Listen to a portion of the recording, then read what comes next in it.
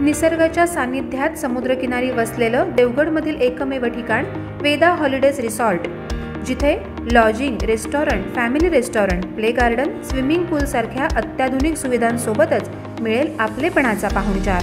अवश्य भेट द्या आणि आम्हाला आपल्या सेवेची संधी द्या.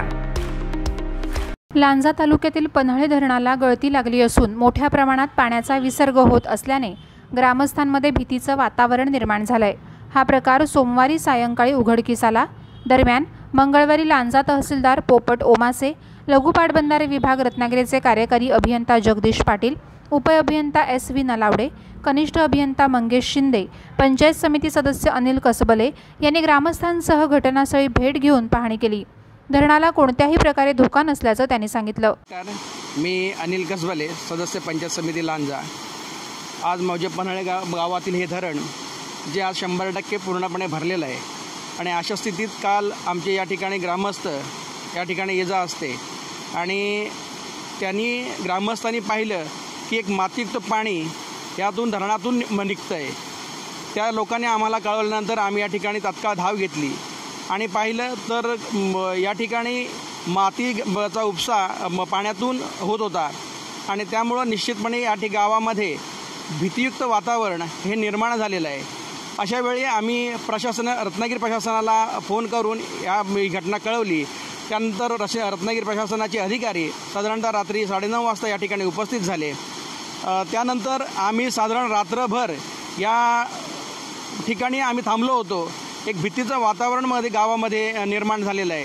वारंवार प्रशासनाला आपण सूचना केलेली आहे त्यांना कळवलेलं आहे. साधारण आपण पाहत असाल की किती गळती निर्माण होते.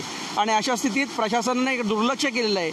माझी एवढीच विनंती राहील की प्रशासन यामध्ये कोणतीही कमतर हात न हे करता ब- पूर्णपणे निधी देऊन या जे काय काम रखडलेलं आहे जे काय काम दुरुस्तीचं आलेलं आहे ते पूर्ण करावं. हे जर काम जर पावसा अगोदर केलं असतं तर आता ही हा प्रश्न उद्भवला नसता.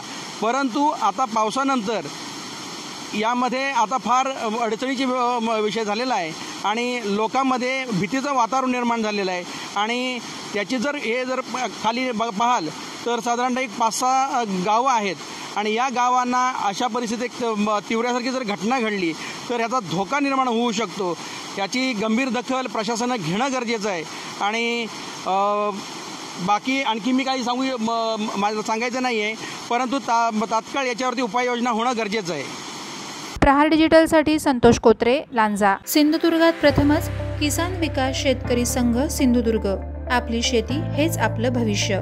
संस्थापक अध्यक्ष श्री अमित संतोष फाटक. संस्थेचे उद्दिष्ट शेतकऱ्यांना न्याय हक्क आणि अधिकार यांना चालना देणं युवा वर्गाला शेतीकडे वळवून रोजगार निर्मिती करण्यास मदत करणं योग्य मार्गदर्शन पुरवणं शासकीय योजनांची माहिती पुरवणं आणि लाभ मिळवून देणं शेतकरी आणि त्यांच्या परिवारास शेती करण्यास प्रोत्साहन देणं. कृषीदुर्ग अभियान प्रारंभ. आमचा पत्ता मुक्काम पोस्ट वराड सावरवाड तालुका मालवण जिल्हा सिंधुदुर्ग. ताज्या बातम्या दररोज पाहण्यासाठी व्हिडिओ खालील सबस्क्राईब बटण आणि बेल चिन्हावर क्लिक करा.